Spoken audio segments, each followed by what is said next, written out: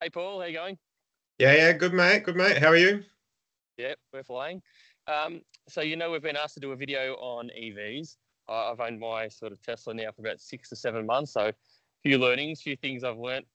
Um, having that car now for that period of time. I know you've been interested in EVs in the past, so Yeah, Yeah, that's right. we'll do a bit of a drive along. We can ask a few questions along the way, see what we can learn, so we can um, see some of the things we know about EVs, and hopefully give a good insight. And that sounds So- good to me. I'll be ready to pick you up in about five ten minutes. Man up, perfect. I'll be ready. All right. I'll see you then. All right, see you, mate. See you soon. Bye.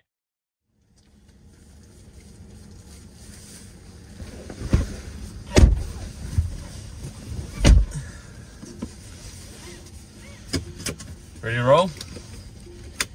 Yeah. All right, what's that? Yeah. So what's the FBT exemption? So FBT exemption uh, allows uh, people to novate at least an EV with an FBT exemption, which essentially makes it much much cheaper for those who can. Um, it makes it very affordable. Um, and aside from that, there's also the environmental benefits, and then there's also the, the, the tech side of it. So a lot of EVs have some of the latest technology, um, and makes them quite sort of exciting from that regard. World sort of comparison that we did, like with the how comparing with Yeah, the okay, FBT yeah. tax, like a seventy is the equivalent. A seventy thousand dollar EV is the equivalent of a forty thousand dollar petrol Yeah. car. Yeah, pretty much. So once you factor in that FBT exemption, you are correct that a forty-five thousand dollar petrol car will cost about the same as a, as a seventy thousand dollar EV or thereabouts. But yeah, obviously it depends on how many k's you do and how much fuel you use. Yeah, I think one thing people don't really get is how much difference that that fuel saving is. So. So currently I've done about 12,000 Ks on this car and I've spent about $120 so far on, on charging. So if you can charge at home, it is quite cheap. The other thing is with with charging, um, there's different ways of charging. Obviously, you can charge at home, you can charge at fast chargers.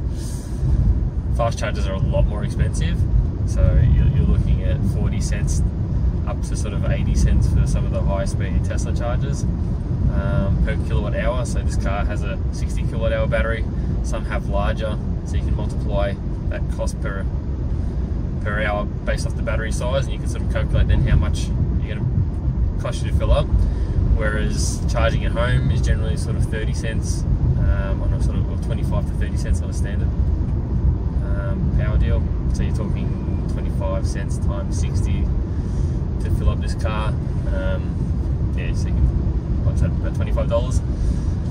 Um, but there is a lot of EV plans now different companies who allow you to sort of charge overnight for 8 cents. So I'm on one of those deals, so it's uh, 8 cents between midnight and 6 a.m.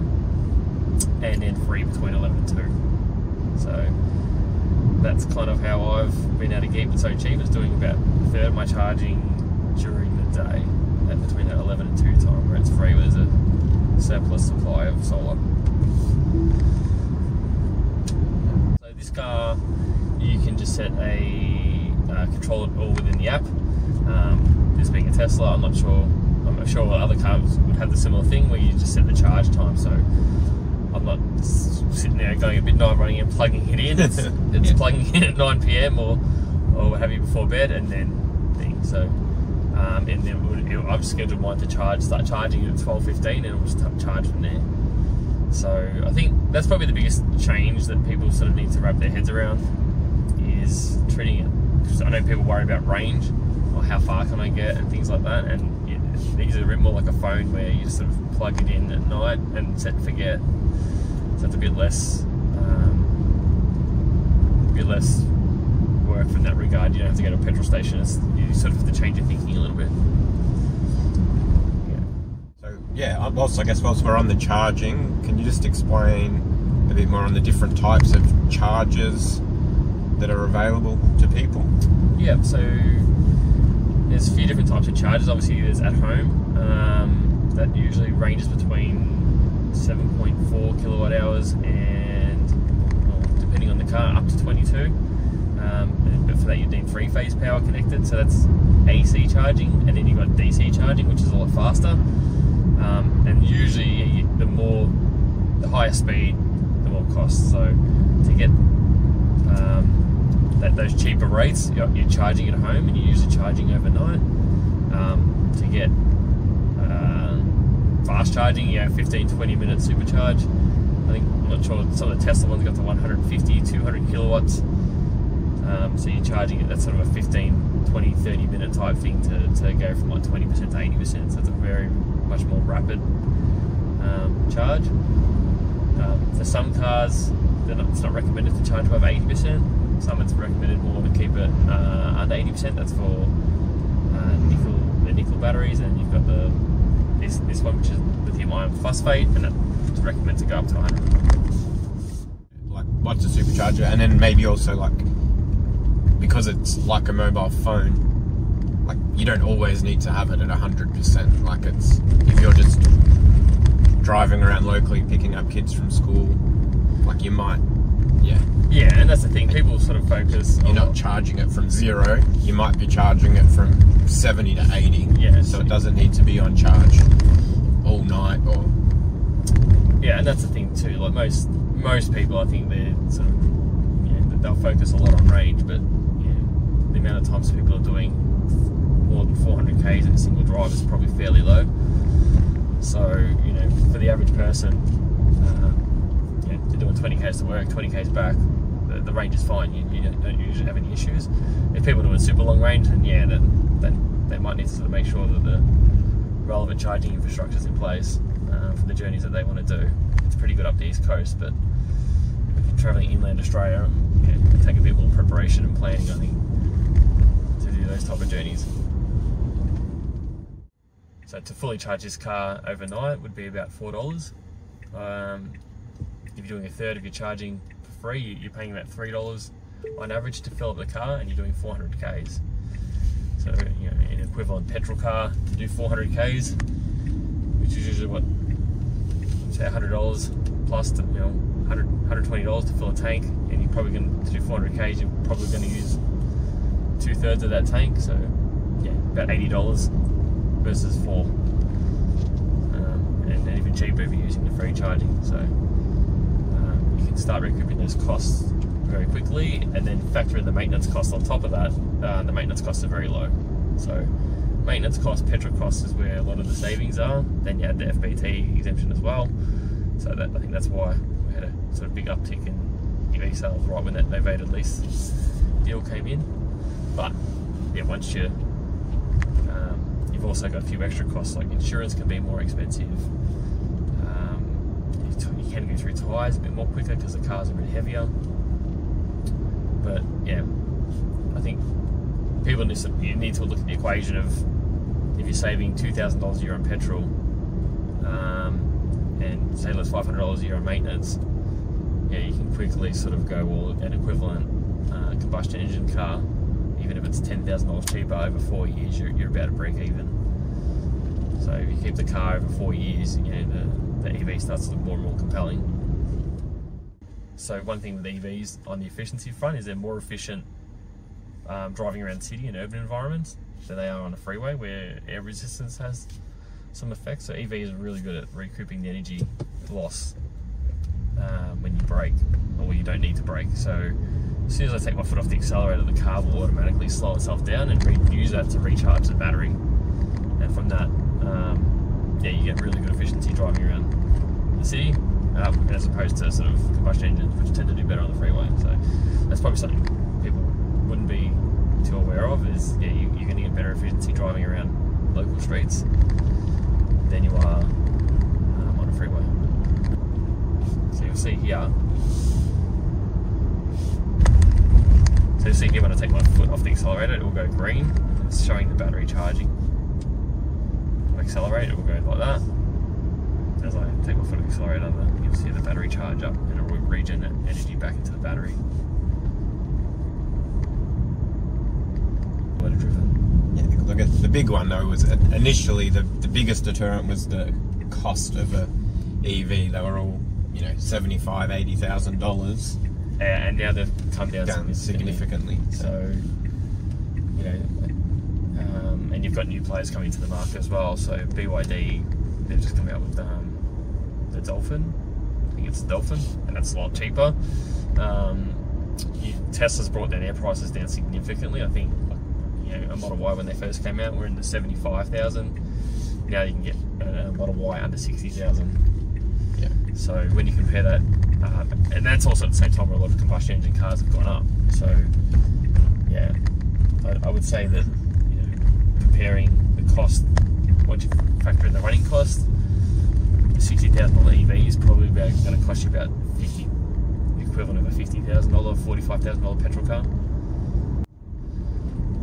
So I guess yeah, I guess we've touched on the cost savings, better for the environment.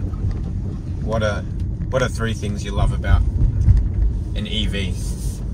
Um, one thing is they've often, often packed with a lot of um, tech and features. Um, I'm not sure whether that's you know, anything limiting there to an EV, but they, they tend to have really good tech. The kids love playing with the stereo and the, watching movies and stuff like that when the car's parked. Um, and yeah, so, you know, they're, they're more. You get software updates. Um, the self-driving features within a Tesla are really, you know, I think sort of surprise people when they first get used to it. But also, like the, just the way it drives, it drives very smoothly. It's very, um, you got instant acceleration. It's very smooth. It's very fluid. It's very quiet. Um, you know, it's um, one thing I love about this car is you can connect it to your phone, so you can heat it up.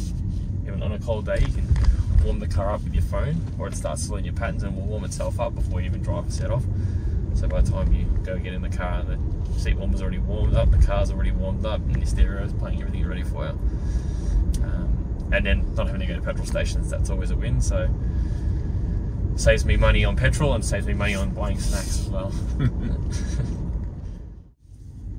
So with the so often you see in the media some you know bad press about you know mass recalls, but sometimes those recalls may sound worse than they actually are because being technology driven, a lot of them can be done over the air. Yeah, and that's another big difference with the Tesla is over-the-air software updates. So um, there's been a case where, I think it was in the US, they had a recall on a Tesla, and then when you actually broke it down, it was they needed to change the icon size in the screen.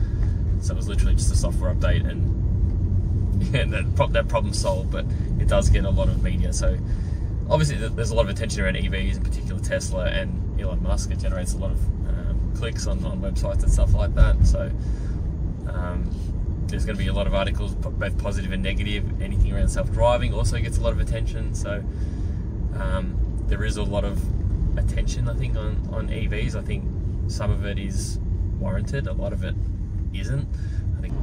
Like, would you, if I'm a young family, two car family, would like maybe two EVs might not be the best play, but one EV, one petrol, or one EV, one hybrid. uh, I'd say it depends on depending on your circumstance, like how, how many long drives do you do. Even then, like I've got sort of young kids and we're not driving 400 k's Yeah. without stopping, so that, that range thing is not a problem for us.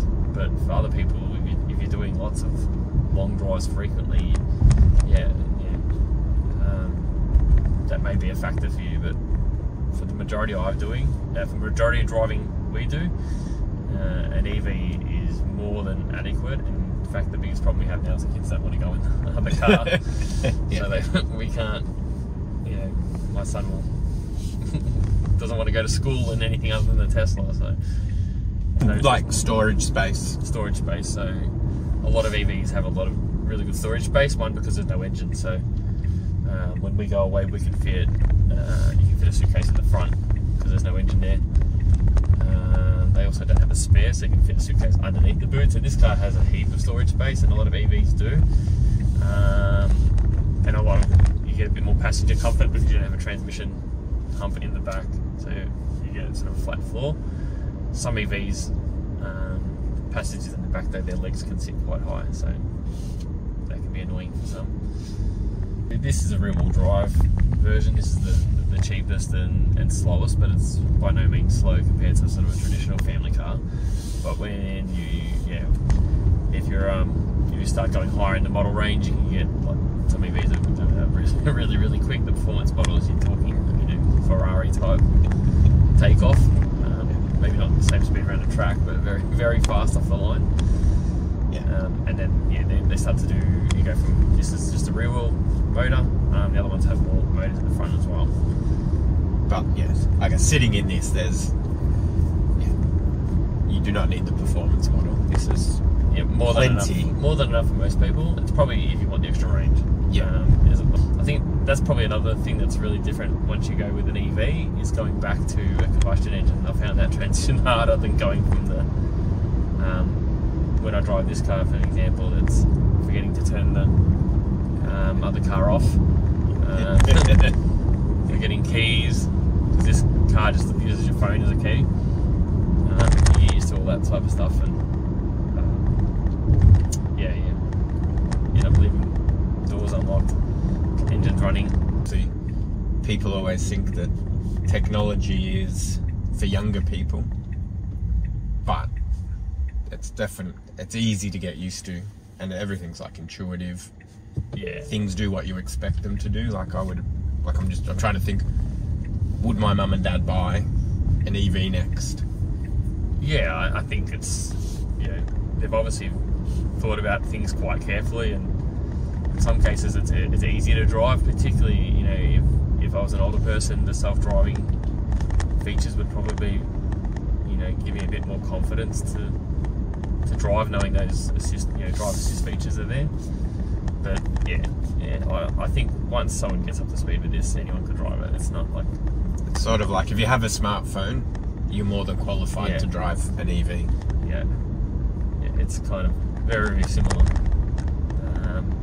um, type thing to a smartphone. Yeah, the charging, the, the software updates over the air.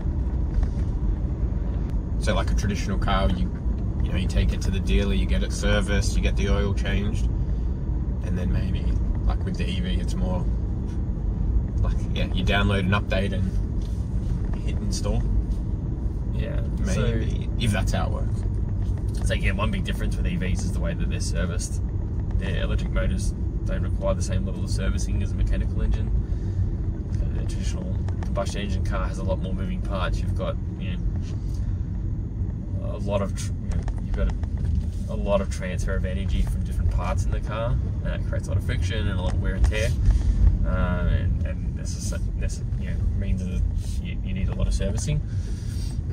Whereas, yeah, um, these cars, some people don't get them serviced very regularly at all, and others will, um, yeah, get certain parts serviced as required, but mechanically there's not a lot to to service in these cars.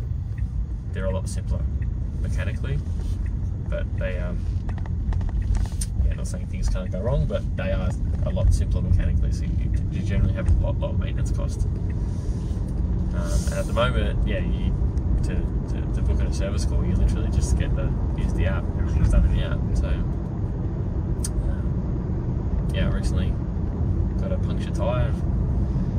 Uh, just message Tesla through the app, and they come and give a spare tire right on the spot. So it's very very different. So that is a different model to traditional cars because yeah, th- these EVs don't have a spare wheel. Yes. So, whether it's due to space or range or, or weight, um, a lot of EVs don't have spare wheels, and so that, yeah, there's some risk around that. Yeah, not having a spare uh, tire. Most come with 24, 24 hour road assist, 24/7 road Yeah. assist, but that's another sort of factor to be aware of. Is yeah, if you're, if you're doing sort of really remote driving, that you want to be um, careful in that regard. I don't know if that's the case for all EVs, but certainly in Tesla, don't have a spare wheel. And that's speaking from experience.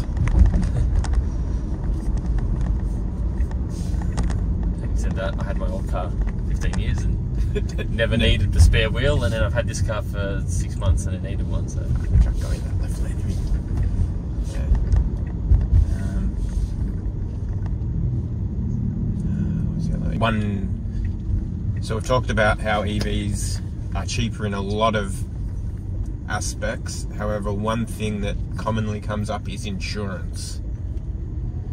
Yeah, um, insurance is more expensive. I think that's one part due to the car being sometimes more expensive. In other cases, it's um, yeah, the cost of repairs are, can be more complex. So I think there's a lot of electronics. You think about those cars got cameras everywhere for the self-driving systems, but yeah, um, I think they can be a bit more complicated to fix. So hence the, the high insurance cost. But that's probably another thing people should be aware of is um, potentially a higher premium